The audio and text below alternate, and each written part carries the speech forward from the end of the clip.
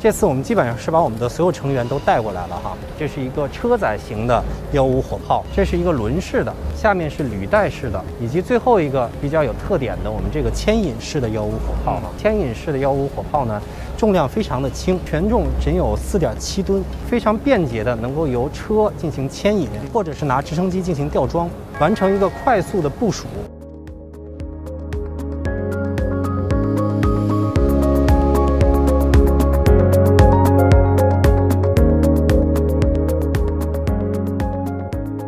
对于我们远火系统来说，有一个比较大的痛点，